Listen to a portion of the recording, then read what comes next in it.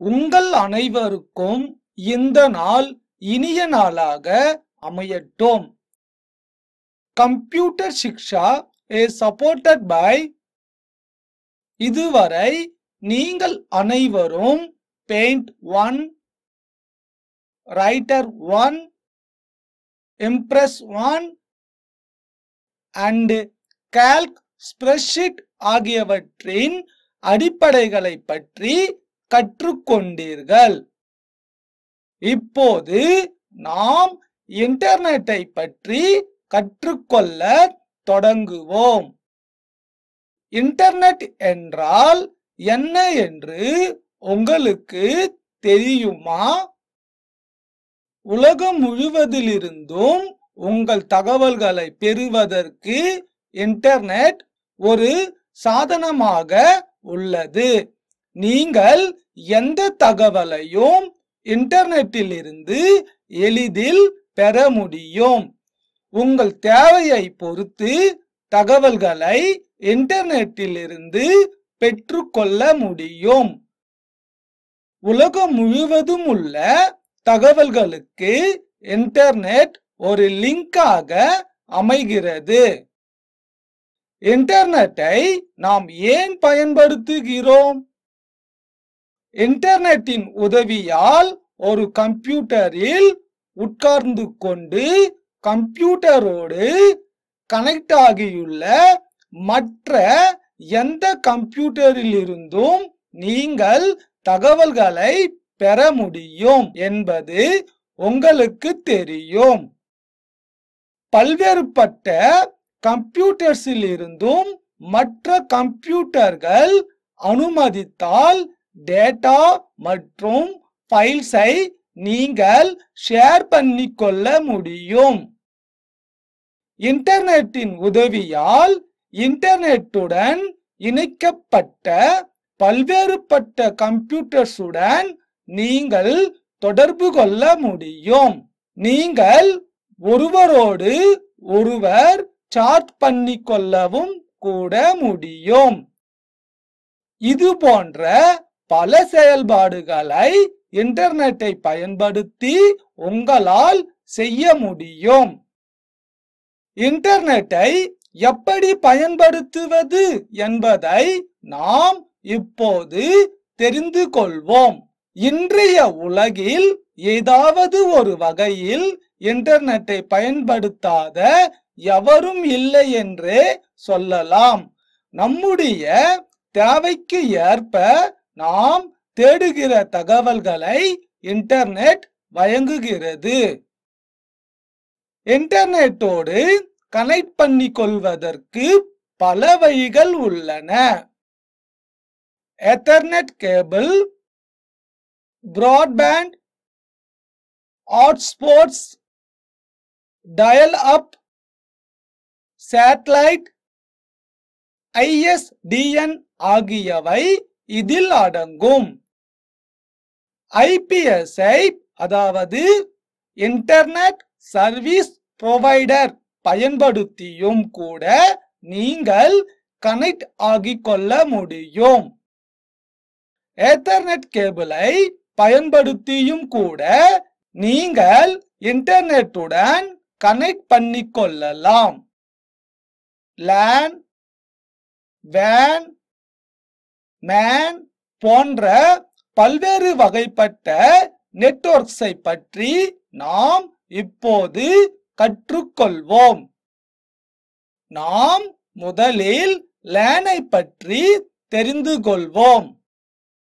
ஏத்தர்நெட் கேபிளின் மூலம் நீங்கள் லேன் நெட்வொர்க்கை பயன்படுத்துகிறீர்கள். இது பெரும்பாலும் ஆபீஸ் ஸ்கூல்ஸ் யூனிவர்சிட்டிஸ் மற்றும் இவை போன்ற பலவேறு இடங்களில் பயன்படுத்தப்படுகிறது. இவை எல்லாம் லோக்கல் ஏரியா நெட்வொர்க்ஸ் ஆகும். அதில் கம்ப்யூட்டர்ஸ் சர்வர்ஸ் மூலம் லிங்க் பண்ணப்பட்டுள்ளன. சர்வரை ஒரு புரோகிராம் அல்லது ஒரு டிவைஸ் என்று கருத முடியும். அது எல்லா லிங்க் கம்ப்யூட்டர்ஸுக்கும் அதாவது கிளைண்ட்ஸ் ஒரு கேபிள் மூலம் இணைப்பை வழங்குகிறது. அத்தகைய இன்டர்நெட் கனெக்ஷன் டென் எம்பி முதல் ஒன் ஜிபி வரை ஸ்பீடை கொடுக்கிறது. இப்போது நாம் வேனை பற்றி கற்றுக்கொள்வோம். வேன் என்பதன் முழு வடிவமானது வைட் ஏரியா நெட்வொர்க் என்பதாகும். வேனின் கவரேஜ் ஏரியா என்பது லேனை விட அதிகமானதாகும்.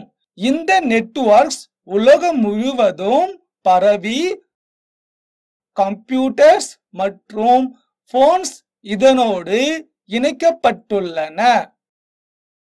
இது பெரும்பாலும் மொபைல் போன்ஸுக்கும் லேண்ட்லைன்ஸுக்கும் பயன்படுத்தப்படுகிறது. வேன் மிகவும் அதிகமான கவரேஜையும் டென் எம்பி முதல் ஹண்ட்ரட் எம்பி வரை ஸ்பீடையும் வழங்குகிறது. உதாரணமாக ஜிஎஸ்எம் சிடிஎம்ஏ மற்றும் பேங்க் ஏடிஎம் ஆகியவற்றின் நெட்வொர்க்ஸ் தங்கள் வங்கியின் பல்வேறு கிளைகளை இணைப்பதற்கு வேனை பயன்படுத்துகின்றன. நாம் இப்போது மேனை பற்றி கற்றுக்கொள்வோம். மேன் என்பது மெட்ரோபொலிட்டன் ஏரியா நெட்வொர்க் என்பதை குறிக்கிறது.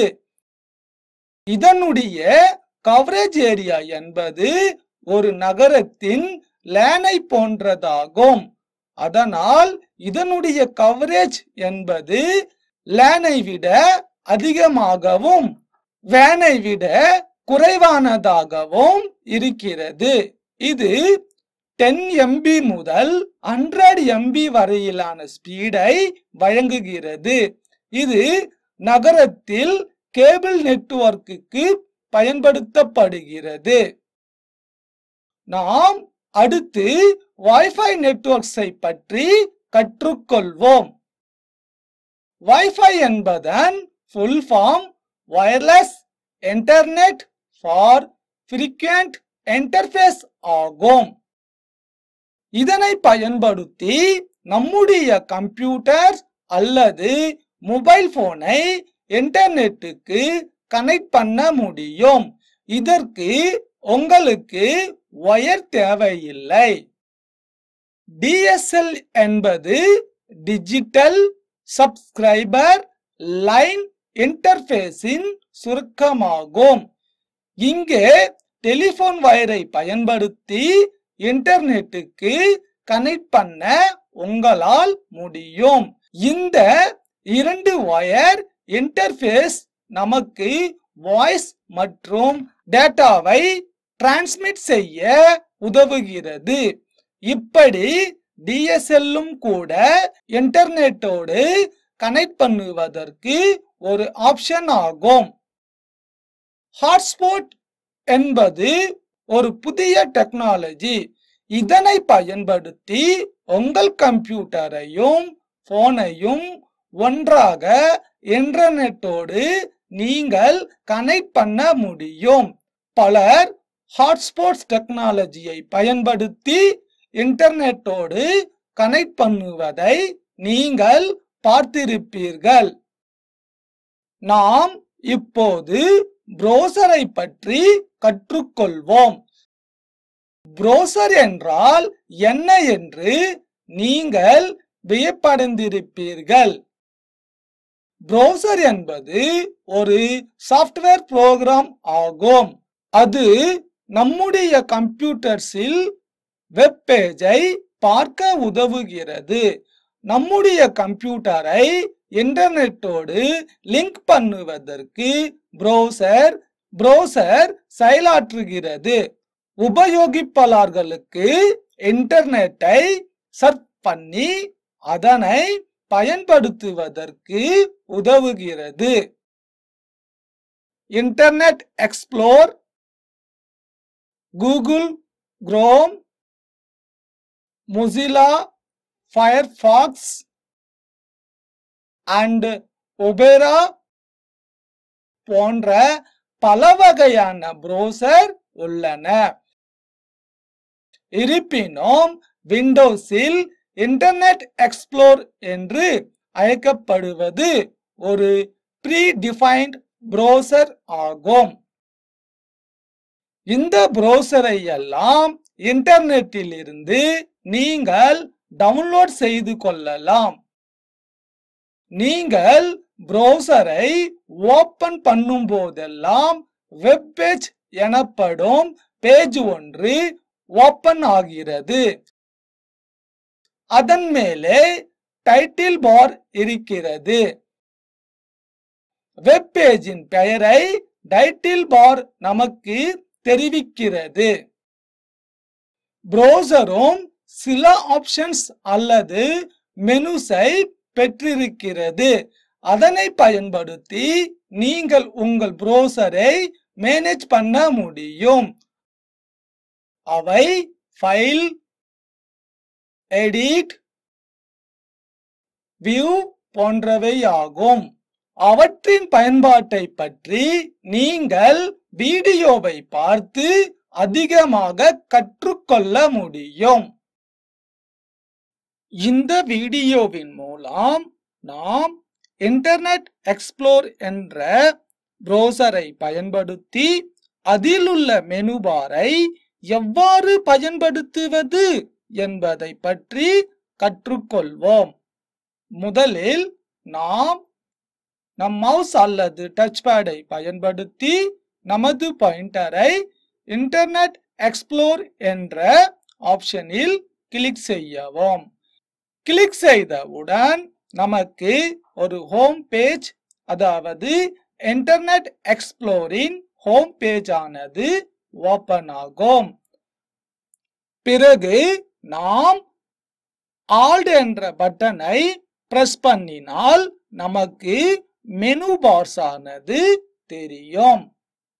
இதில் ஃபைல் என்ற மெனுவில் கிளிக் செய்து பிறகு நியூ டேப் என்ற ஆப்ஷனில் கிளிக் செய்தால் நமக்கு ஒரு நியூ டேப் ஆனது ஓபன் ஆகிவிடும். இதனை நாம் க்ளோஸ் செய்துவிட்டு பிறகு ஆல்ட் என்ற பட்டனை பிரஸ் பண்ணவும். பிறகு ஃபைல் என்ற மெனுவில் கிளிக் செய்து டூப்ளிகேட் டேப் என்ற ஆப்ஷனில் கிளிக் செய்தால் நமக்கு ஏற்கனவே இருந்த ஹோம் பேஜும் இப்போது இருக்கின்ற ஹோம் பேஜும் ஒரே மாதிரியாக தெரியும்.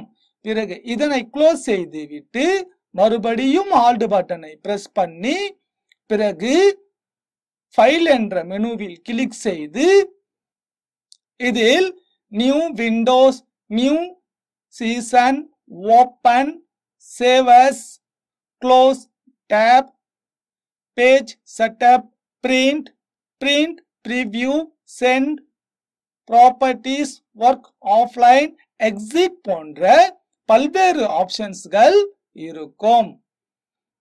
பிறகு நாம் எடிட் மெனு என்ற ஆப்ஷனில் கிளிக் செய்து இதிலும் cut copy paste select all find on this page போன்ற பல்வேறு ஆப்ஷன்ஸ்கள் இருக்கும்.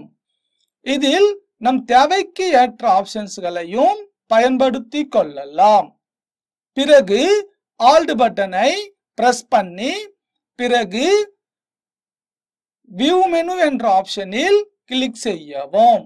பிறகு டூல் பார்ஸ் என்ற ஆப்ஷனில் கிளிக் செய்தால் அதில் menu bar favourites bar command bar status bar lock the tool bars என்ற பல சப் மெனுஸ்கள் இருக்கும். இதிலும் நம் தேவைக்கு ஏற்றதை போன்று நாம் இதனை பயன்படுத்திக் கொள்ளலாம். பிறகு மறுபடியும் ஆல்ட் பட்டனை பிரஸ் பண்ணி வியூ மெனுவில் கிளிக் செய்து பிறகு டூல் பார்ஸ் என்ற ஆப்ஷனில் கிளிக் செய்து ஃபேவரட்டிஸ் பார் என்ற ஆப்ஷனை செலக்ட் செய்தால் நமக்கு ஃபேவரட்டிஸ் ஆனது தெரியும். பிறகு மறுபடியும் வியூ மெனுவில் கிளிக் செய்து கோ டு என்ற ஆப்ஷனில் கிளிக் செய்தால் நமக்கு பல சப் மெனுஸ்கள் தெரியும். இதில் stop refresh zoom text size full screen போன்ற ஆப்ஷன்ஸ்கள் இருக்கும். ஃபுல் ஸ்கிரீன் என்ற ஆப்ஷனில் கிளிக் செய்தால் நம் ஹோம் பேஜ் ஆனது ஃபுல் ஸ்கிரீனில் தெரியும். இதனை நாம் நார்மல் வியூவில் கொண்டு வருவதற்கு எஃப் லெவன் என்ற கீயை பிரஸ் பண்ணினால் நமக்கு நார்மல் பேஜில் கிடைக்கும். பிறகு மறுபடியும் ஆல்டு பட்டனை பிரஸ் செய்து ஃபேவரட்டிஸ் என்ற ஆப்ஷனில் கிளிக் செய்து பிறகு ஆட் டு ஃபேவரட்டிஸ் என்ற முதல் ஆப்ஷனை கிளிக் செய்தால் ஒரு பாக்ஸ் ஓபன் ஆகும். இதில் நம் தேவைக்கு ஏற்றதை போன்று நேமை டைப் செய்து பிறகு ஆட் என்ற ஆப்ஷனில் கிளிக் செய்து பிறகு எஸ் என்ற ஆப்ஷனில் கிளிக் செய்தால் நாம் செட் செய்த நேம் ஆனது நமக்கு ஃபேவரட்டிஸாக தெரியும். பிறகு மறுபடியும் ஆல்ட் பட்டனை பிரஸ் பண்ணி டூல்ஸ் மெனு என்ற ஆப்ஷனில் கிளிக் செய்து பிறகு டெலிட் ப்ரௌசிங் ஹிஸ்டரி என்ற ஆப்ஷனில் கிளிக் செய்தால் ஒரு பாக்ஸ் ஓபன் ஆகும். இதில் நம் தேவைக்கு ஏற்றதை போன்று நாம் டெலீட் செய்து கொள்ளலாம். பிறகு இதனை க்ளோஸ் செய்து விட்டு பிறகு ஆல்ட் பட்டனை பிரஸ் பண்ணி பிறகு மறுபடியும் டூல்ஸ் மெனுவில் கிளிக் செய்து இதிலும் பல்வேறு வகையான ஆப்ஷன்ஸ்கள் இருக்கும். நம் தேவைக்கு ஏற்றதை போன்று இந்த ஆப்ஷன்ஸ்களையும் பயன்படுத்தி கொள்ளலாம். பிறகு ஹெல்ப் மெனு என்ற ஆப்ஷனில் கிளிக் செய்து இதிலும் பல்வேறு ஆப்ஷன்ஸ்கள் இருக்கும். இதிலும் நம் தேவைக்கு ஏற்றதை போன்று நாம் இதனை பயன்படுத்தி கொள்ளலாம்.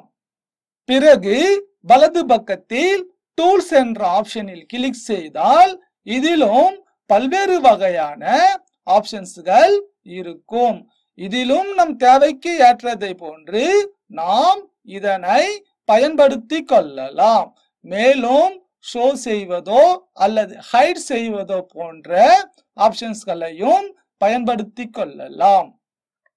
அடுத்த ஆப்ஷன் என்பது அட்ரஸ் பாரை பற்றியதாகும். அட்ரஸ் பாரை பயன்படுத்தி நீங்கள் எந்த வெப் பேஜையையும் அதாவது வெப்சைட் நேரடியாக ஓபன் பண்ண முடியும். இதனை செய்வதற்கு அந்த வெப் பேஜின் டொமைன் நேம் அல்லது டொமைன் நெட்வொர்க் சிஸ்டம் என்டிஎஸ் மை நீங்கள் மிக சரியாக தெரிந்து வைத்திருக்க வேண்டும். அட்ரஸ் பாரில் அந்த அட்ரஸை நீங்கள் டைப் பண்ண வேண்டும். அதை பயன்படுத்தி நீங்கள் விரும்பிய பேஜை அடைய முடியும். உதாரணமாக நீங்கள் கூகுள் ஹோம் பேஜுக்கு போக விரும்பினால் நீங்கள் W W W dot Google dot com என்று டைப் செய்து என்டர் பட்டனை ப்ரெஸ் பண்ண வேண்டும். கூகுள் ஹோம் பேஜ் தோன்றும். இன்டர்நெட் அட்ரஸ் என்பது வெப்சைட் என்றும் கூட அழைக்கப்படுகிறது. ஒரு வெப்சைட் என்பது என்ன என்று நீங்கள் வியப்படையலாம் அல்லவா?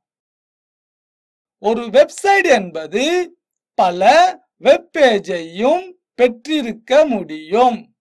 அது டொமைன் அல்லது நீங்கள் கொடுத்த அட்ரஸை சரியா தவறா என்று அடையாளம் கண்டுகொள்கிறது. ஒவ்வொரு வெப்சைடும் ஒரு ஹோம் பேஜை கொண்டுள்ளது. இந்த ஹோம் பேஜ் பல்வேறுபட்ட கம்ப்யூட்டர்ஸில் பல்வேறுபட்ட வகையில் இருக்க முடியும். இந்த ஹோம் பேஜின் தோற்றம் ப்ரௌசரின் செட்டிங்ஸை பொறுத்து இருக்கும். நீங்கள் ப்ரௌசரை ஓபன் பண்ணும்போது எது முதல் பக்கம் வர வேண்டும் என்று வரையறை செய்வதற்கு அதனை பயன்படுத்த முடியும். நீங்கள் விரும்பினால் உங்கள் தேவைக்கு ஏற்ப ஹோம் பேஜை செட்டப் செய்து கொள்ள முடியும். ஒரு வெப் அட்ரஸ் என்பது நான்கு பகுதிகளாக பிரிக்கப்பட்டிருக்கிறது. உதாரணமாக HTTP semicolon slash slash W W W dot Google dot in என்ற அட்ரஸை நாம் கவனத்தில் எடுத்துக்கொள்வோம். இதில் உள்ள HTTP W W W Google மற்றும் ஐஎன் என்ற நான்கு பகுதிகளை நீங்கள் பார்க்கலாம். முதல் பகுதியான ஹெச்டிடிபி என்பது வெப் சர்வர் ஹைப்பர் டெக்ஸ்டினை போர்ட்டோகூலுக்கு கன்வெர்ட் பண்ணுகிறது. ஹெச்டிடிபி என்பதுதான் மிகவும் சரளமாக அதிகமாக பயன்படுத்தப்படும் போர்ட்டோகூல் ஆகும். இது ஹைப்பர் டெக்ஸ்ட் டிரான்ஸ்பர் புரோட்டோகால் என்பதை குறிக்கிறது. இரண்டாவது பகுதி www என்பதாகும். Www என்பது வேர்ல்ட் வைட் வெப்சைட்டை குறிக்கிறது. மூன்றாவது பகுதி கூகுள் ஆகும். இதுதான் அட்ராஸின் முக்கிய பகுதியாகும். இது சர்வர் மற்றும் சைடு அட்ராஸை சார்ந்திருக்கிறது. கடைசி பகுதி இன் என்பதாகும். இந்த சைடு எந்த நாட்டை சேர்ந்தது என்பதை தெரிவிக்கிறது. இன் என்பது இந்தியாவை காட்டுகிறது. இப்போது நீங்கள் அட்ரஸ் பாரை பற்றி கற்றுக்கொண்டீர்கள். அட்ரஸ் பாரை பயன்படுத்தி நீங்கள் விரும்பிய வெப் பேஜை ஓபன் பண்ண முடியும். இன்டர்நெட்டை பயன்படுத்தி நீங்கள் உங்களுக்கு தேவையான எந்த தகவல்களையும் பெற முடியும் என்பது நீங்கள் அறிந்ததே. நீங்கள் எந்த சப்ஜெக்டை பற்றிய தகவலையும் தேட முடியும். உலகம் முழுவதிலும் உங்கள் செய்திகளை நீங்கள் தெரிந்து கொள்ள முடியும். இன்டர்நெட்டில் இந்த எல்லா தகவல்களும் எப்படி தேடப்படுகின்றன என்பதை எண்ணி நீங்கள் எல்லோரும் வியந்து கொண்டிருக்க வேண்டும். நாம் இப்போது சில சர்ச் என்ஜின்ஸை பற்றி தெரிந்து கொள்வோம். இவை கூகுள் யாஹூ பீன் கோர் பைண்டு போன்றவைகளாகும். இவைகள் எல்லாம் சர்ச் என்ஜின்ஸ் ஆகும். சர்ச் என்ஜினில் டைப் செய்து நீங்கள் தேடுகிற தகவல்களை நீங்கள் கண்டுபிடிக்க முடியும். கூகுள் என்பதுதான் மிகவும் அதிகமாக பயன்படுத்தப்படுகின்ற சர்ச் என்ஜின் ஆகும். கூகுளை பயன்படுத்த விரும்புகின்ற எந்த பயனாளரும் அட்ரஸ் பாரில் www dot Google dot com என்று டைப் செய்து என்டர் பட்டனை பிரஸ் பண்ண வேண்டும். இது கூகுள் ஹோம் பேஜை ஓபன் பண்ணிவிடும். பிறகு நீங்கள் சர்ச் பாக்ஸில் எதை தேடுகிறீர்கள் என்பதை டைப் பண்ண வேண்டும். நீங்கள் என்டர் பட்டனை பிரஸ் பண்ணிய உடனேயே உங்களுக்கு பல லிங்க்ஸ் காட்டப்படும். அதில் நீங்கள் தேடிய தகவல்களை பெற்றிருக்கலாம். உதாரணமாக கூகுளில் கம்ப்யூட்டர் சிக்ஷாவை பற்றிய தகவல்களை நீங்கள் அறிய விரும்பினால் முதலில் ப்ரௌசரை ஓபன் பண்ண வேண்டும். பிறகு அதில் நீங்கள் கூகுள் என்று டைப் பண்ண வேண்டும். அதன் சர்ச் பாக்ஸில் கம்ப்யூட்டர் சிக்ஷா என்று டைப் செய்து என்டர் பட்டனை பிரஸ் பண்ண வேண்டும். கம்ப்யூட்டர் சிக்ஷாவை பற்றிய தொடர்புடைய லிங்க்ஸ் உங்களுக்கு காட்டப்படும். இதுவரை நீங்கள் புரோசரை பற்றியும் இன்டர்நெட் பற்றியும் கற்றுக்கொண்டீர்கள். அடுத்து இன்டர்நெட்டை பயன்படுத்தி ஒரு ஃபைலை எப்படி டவுன்லோட் செய்வது என்று கற்றுக்கொள்வோம். டவுன்லோட் பண்ணுவதற்கான முறை எளிதானது. புரோசரையும் இன்டர்நெட்டையும் பயன்படுத்த கற்றுக்கொண்ட பிறகு நீங்கள் எளிதாக டவுன்லோட் செய்யலாம். முதலில் நீங்கள் புரோசரை ஓபன் செய்ய வேண்டும். பிறகு நீங்கள் பயன்படுத்த ஆர்வம் கொண்டுள்ள புரோசரை பயன்படுத்துங்கள். ப்ரௌசரை ஓபன் பண்ணியதும் வெப் அங்கே இருக்கும். இப்போது நீங்கள் பயன்படுத்த விரும்புகின்ற அட்ரஸ் பாரில் சர்ச் என்ஜினின் அட்ரஸை நீங்கள் டைப் செய்து என்டரை பிரஸ் பண்ண வேண்டும். அடுத்து நீங்கள் டவுன்லோட் பண்ண வேண்டியதை சர்ச் பாக்ஸில் டைப் பண்ண வேண்டும். அதற்கான லிங்க் உங்களுக்கு காட்டப்படும். பிறகு நீங்கள் டவுன்லோட் ஆப்ஷனில் கிளிக் பண்ண வேண்டும்.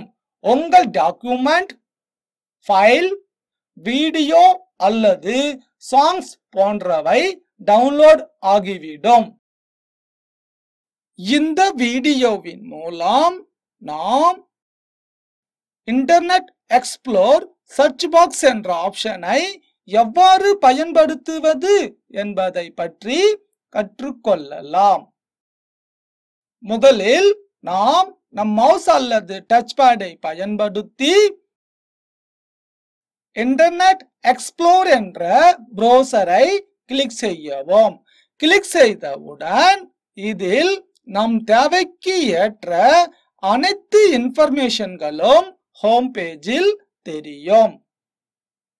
இதில் சர்ச் பாக்ஸ் என்ற பாக்ஸில் W W W dot Google dot com என்று டைப் செய்து பிறகு என்டர் பட்டனை பிரஸ் பண்ணினால் நமக்கு கூகுள் என்ற ஹோம் பேஜ் ஆனது ஓபன் ஆகிவிடும். இதில் நாம் கம்ப்யூட்டர் சிக்ஷா என்று டைப் செய்து பிறகு சர்ச் என்ற சிம்பிளில் கிளிக் செய்தால் கம்ப்யூட்டர் சிக்ஷாவின் லிங்க்ஸ் ஆனது பல்வேறு வகைகளாக தெரியும். இதில் நாம் முதலில் இருக்கும் லிங்கை கிளிக் செய்தவுடன் கம்ப்யூட்டர் சிக்ஷாவின் ஹோம் பேஜ் ஆனது ஓபன் ஆகிவிடும். இதிலும் பல்வேறு வகையான ஆப்ஷன்ஸ்கள் இருக்கும்.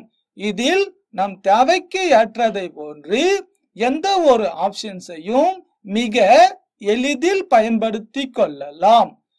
பிறகு மறுபடியும் சர்ச் பாக்ஸ் என்ற அட்ரஸ் பாரில் W W W dot Amazon dot IN என்று டைப் செய்து என்டர் பட்டனை பிரஸ் பண்ணினால் நமக்கு அமேசனுடைய ஹோம் பேஜ் ஆனது ஓபன் ஆகிவிடும் இதிலும் நம் தேவைக்கு ஏற்றதை போன்று பல்வேறு வகையான ஆப்ஷன்ஸ்களை மிகவும் எளிதில் நாம் பயன்படுத்தி கொள்ளலாம். நாம் இப்போது Adobe reader open office Apache and VLC files போன்றவற்றை இன்டர்நெட்டிலிருந்து எப்படி டவுன்லோட் பண்ண முடியும் என்பதை கற்றுக்கொள்வோம். இந்த வீடியோவின் மூலம் நாம் எடோப் ரீடர் என்ற ஃபைலை இன்டர்நெட்டில் இருந்து எவ்வாறு டவுன்லோட் செய்வது என்பதை பற்றி கற்றுக்கொள்ளலாம். முதலில் நாம் நம் மவுஸ் அல்லது டச் பேடை பயன்படுத்தி நமது பாயிண்டரை கூகுள் குரோம் என்ற ப்ரௌசரில் கிளிக் செய்யவும். கிளிக் செய்தவுடன் பிறகு அட்ரஸ் பாரில் டவுன்லோட் எடப் ரீடர் என்று டைப் செய்து பிறகு என்டர் பட்டனை பிரஸ் பண்ணவும். பிரஸ் பண்ணியவுடன் நமக்கு பல்வேறு வகையான லிங்க்ஸ்கள் தெரியும். ஆனால் இந்த அனைத்து லிங்க்ஸ்களிலும் முதலில் இருப்பவை மட்டுமே பெஸ்ட் லிங்காக கருதப்படுகிறது. எனவே நாம் முதலில் இருக்கும் லிங்க்ஸை கிளிக் செய்யவும். கிளிக் செய்தவுடன் நமக்கு ஒரு எடப் ரீடருடைய ஹோம் பேஜ் ஆனது ஓபன் ஆகும். இதில் எல்லோ கலர் பாக்ஸில் உள்ள இன்ஸ்டால் நவ் என்ற ஆப்ஷனில் கிளிக் செய்தால் சில நேரங்களில் நமக்கு எரர் மெசேஜ் ஆனது தெரியும். இப்போது பார்த்தால் எடப் ரீடர் ஆனது டவுன்லோட் ஆகியிருப்பதை பார்க்கலாம். இப்போது பார்த்தால் இடது பக்கத்தின் கீழ்ப்பகுதியில் எடப் ரீடருடைய அப்ளிகேஷன் ஆனது டவுன்லோட் ஆகி இருப்பதை பார்க்கலாம். பிறகு டவுன்லோட் ஆனதை கிளிக் செய்தவுடன் நமக்கு டவுன்லோட் ஆகி இருப்பதை காட்டுகிறது. இதனை கிளிக் செய்து நாம் டவுன்லோட் செய்து கொள்ளலாம். பிறகு இதனை மினிமைஸ் செய்யவும். இந்த வீடியோவின் மூலமும் நாம் விஎல்சி மீடியா பிளேயரை எவ்வாறு கூகுள் குரோமில் இருந்து டவுன்லோட் செய்வது என்பதை பற்றி கற்றுக்கொள்வோம். முதலில் நாம் கூகுள் குரோம் என்ற ப்ரௌசரை கிளிக் செய்து பிறகு அட்ரஸ் பாரில் டவுன்லோட் விஎல்சி மீடியா பிளேயர் என்று டைப் செய்து பிறகு என்டர் பட்டனை பிரஸ் பண்ணவும். பிரஸ் பண்ணியவுடன் இதில் நமக்கு பல்வேறு லிங்க்ஸ்கள் தெரியும். இதில் முதலில் இருக்கும் லிங்க்ஸை கிளிக் செய்யவும். கிளிக் செய்தவுடன் நமக்கு ஒரு பேஜ் ஓபன் ஆகும். இதில் ப்ரீ டவுன்லோட் என்ற ஆப்ஷனில் கிளிக் செய்தால் நமக்கு ஃபைல்ஸ் ஆனது டவுன்லோட் ஆகும். இடது பக்கத்தின் கீழ்ப்பகுதியில் பார்த்தால் VLC மீடியா பிளேயர் ஆனது டவுன்லோட் ஆகுவதை பார்க்கலாம். பிறகு இதனை மினிமைஸ் செய்துவிட்டு மை கம்ப்யூட்டர் என்ற ஆப்ஷனில் டபுள் கிளிக் செய்யவும். பிறகு டவுன்லோட்ஸ் என்ற ஃபோல்டரில் கிளிக் செய்யவும். இதில் கடைசியில் உள்ள DLC two point two point one win thirty two என்ற நேமில் விஎல்சி மீடியா பிளேயர் ஆனது டவுன்லோடு ஆகி கொண்டு இருப்பதை நாம் பார்க்கலாம். இந்த வீடியோவின் மூலம் நாம் அப்பாச்சே ஓபன் ஆபீஸ் என்ற அப்ளிகேஷனை எவ்வாறு டவுன்லோட் செய்வது என்பதை பற்றி கற்றுக்கொள்வோம். முதலில் நாம் கூகுள் குரோம் என்ற ப்ரௌசரில் கிளிக் செய்யவும். கிளிக் செய்தவுடன் சர்ச் பாக்ஸ் என்ற அட்ரஸ் பாரில் டவுன்லோட் ஓப்பன் ஆஃபீஸ் என்று டைப் செய்யவும். டைப் செய்த பிறகு என்டர் பட்டனை பிரஸ் பண்ணவும்.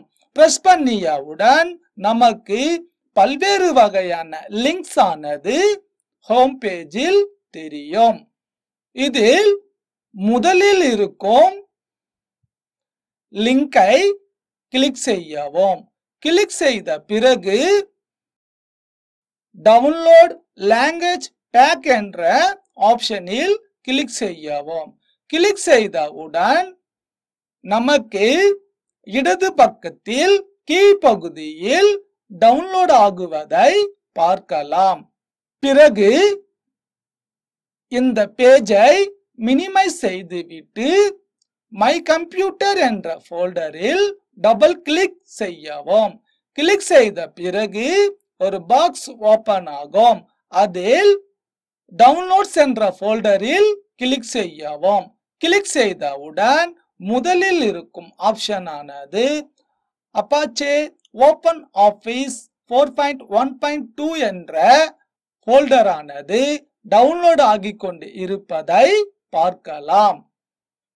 நீங்கள் ஒரு வீடியோ அல்லது ஒரு சாங்ஸை தேட விரும்பினால் அதை செய்வதற்கு யூடியூப்பை பயன்படுத்த வேண்டும்.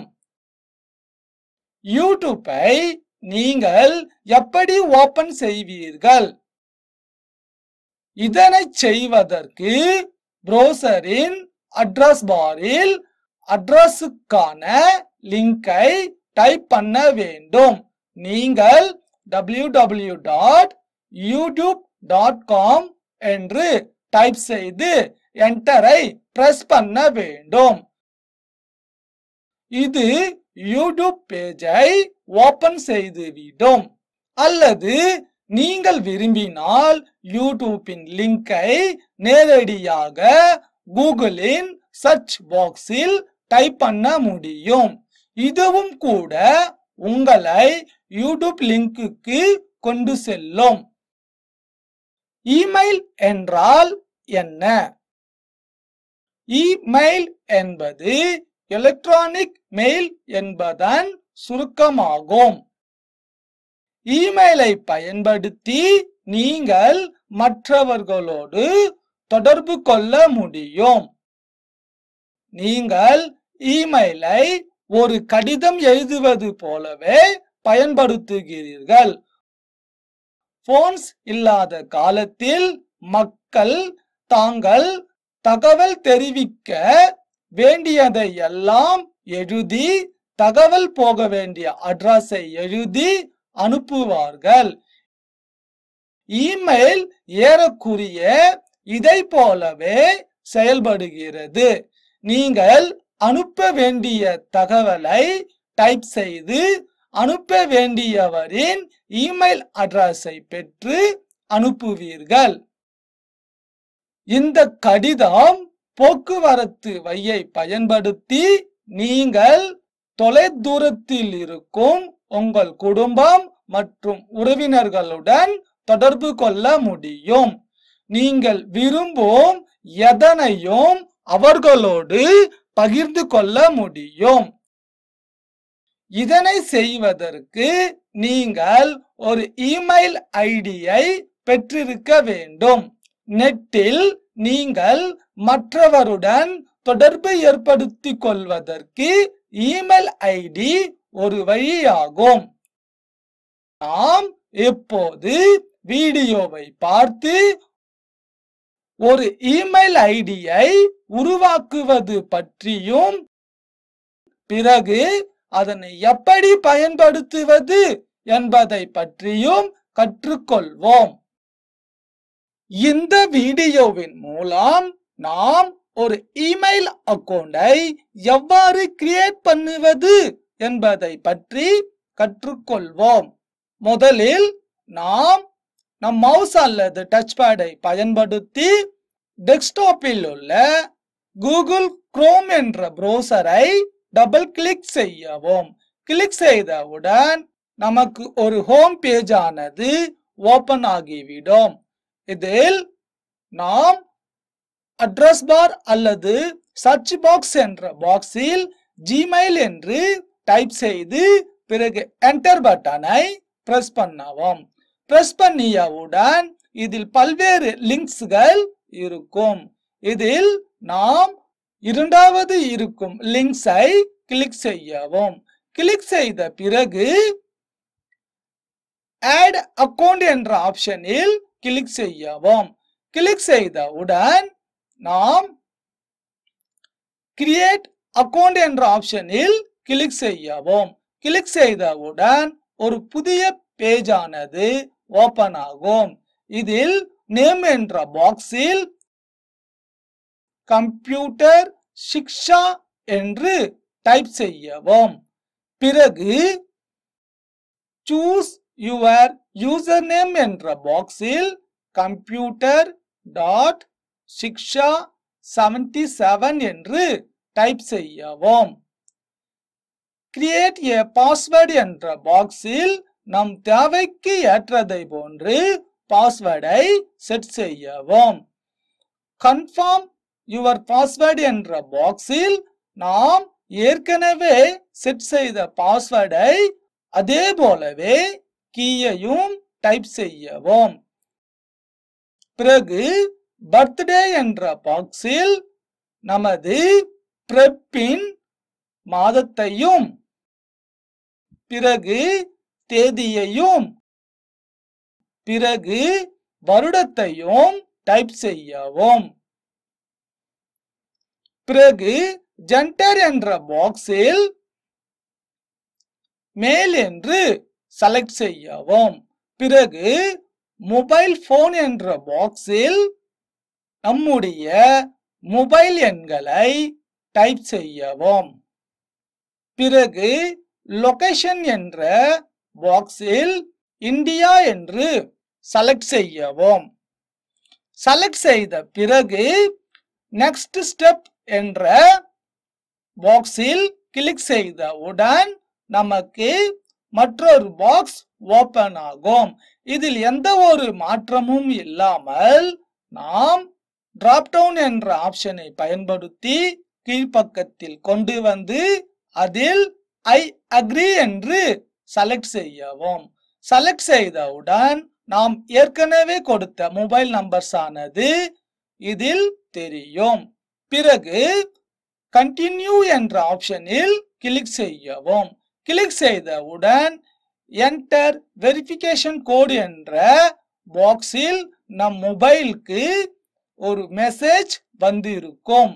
அந்த மெசேஜ் என்ன என்று சரிபார்த்து இந்த பாக்ஸில் டைப் செய்யவும். டைப் செய்த பிறகு கண்டினியூ என்ற பாக்ஸில் கிளிக் செய்தால் நமக்கு மற்றொரு பேஜ் ஓபன் ஆகும். இதிலும் கண்டினியூ டு ஜிமெயில் என்ற ஆப்ஷனில் கிளிக் செய்தவுடன் ஒரு ஜிமெயில் அக்கௌண்ட் ஆனது கிரியேட் ஆகி இருப்பதை நாம் இந்த வீடியோவில் பார்க்கலாம். அதோடு கூட மறுபடியும் இந்த வீடியோவின் மூலம் நாம் ஜிமெயில் அக்கவுண்ட்ஸை பயன்படுத்தி ஒரு மெசேஜை எவ்வாறு சென்ட் செய்வது என்பதை பற்றி கற்றுக்கொள்வோம். முதலில் நாம் நம் மவுஸ் அல்லது டச் பேடை பயன்படுத்தி நமது பாயிண்டரை கம்போஸ் என்ற ரெட் கலர் பாக்ஸில் கிளிக் செய்யவும். கிளிக் செய்தவுடன் நமக்கு நியூ மெசேஜ் என்ற ஒரு பாக்ஸ் ஓபன் ஆகும். டூ என்ற பாக்ஸில் நாம் யாருக்கு நம்முடைய மெசேஜை சென்ட் செய்கிறோமோ அவருடைய இமெயில் அட்ரஸை இங்கு நாம் டைப் செய்யவும். அதாவது connect at the rate computer Shiksha dot org என்று டைப் செய்யவும். பிறகு சப்ஜெக்ட் என்ற இடத்தில் ஃபார் டெஸ்டிங் என்று டைப் செய்யவும். பிறகு அடுத்த பாக்ஸில் ஹெலோ என்று டைப் செய்யவும். பிறகு இதனை நாம் செலக்ட் செய்து ஃபார்மேட்டிங் ஆப்ஷன்ஸ் என்ற ஆப்ஷனில் கிளிக் செய்தால் நமக்கு நாம் டைப் செய்த டெக்ஸ்டின் ஸ்டைலை நம் தேவைக்கு ஏற்றதை போன்று மாற்றிக்கொள்ளலாம். பிறகு மறுபடியும் டெக்ஸ்டை செலக்ட் செய்து அதனுடைய ஃபார்மேட்டையும் மாற்றிக்கொள்ளலாம். பிறகு அதனுடைய சைஸையும் மாற்றிக்கொள்ளலாம். பிறகு அதனை போல்டாகவும் மாற்றிக்கொள்ளலாம். இல்லை என்றால் இட்டாலிக்ஸ் ஆகவும் மாற்றிக்கொள்ளலாம். இதனை அண்டர்லைனிங் கூட நாம் செய்யலாம். பிறகு டெக்ஸ்டின் கலரையும் கூட நம் தேவைக்கு ஏற்ற கலரையை நாம் செட் செய்து கொள்ளலாம். பிறகு இதனை லெஃப்ட் அலைன்மெண்ட் ரைட் அலைன்மெண்ட் போன்ற ஆப்ஷன்ஸ்களையும் நாம் பயன்படுத்தி கொள்ளலாம். பிறகு அட்டாச் ஃபைல் என்ற ஆப்ஷனில் கிளிக் செய்தால் நமக்கு ஒரு பாக்ஸ் ஓபன் ஆகும். இதில் நம் தேவைக்கு ஏற்றதை போன்று டவுன்லோட்ஸ் என்ற ஃபோல்டரில் கிளிக் செய்து கான்டாக்ட் அட்ரஸ் என்ற ஃபைலை செலக்ட் செய்து பிறகு ஓப்பன் என்ற ஆப்ஷனில் கிளிக் செய்தால் நாம் செலக்ட் செய்த ஃபைல்ஸ் ஆனது அட்டாச் ஆகி இருப்பதை பார்க்கலாம். பிறகு நாம் சென்ட் என்ற ஆப்ஷனில் கிளிக் செய்தால் இந்த மெசேஜ் ஆனது நாம் யாருக்கு சென்ட் செய்ய விரும்புகிறோமோ அவர்களுக்கு மிக எளிதில் சென்றாகிவிடும். Computer Shiksha is supported by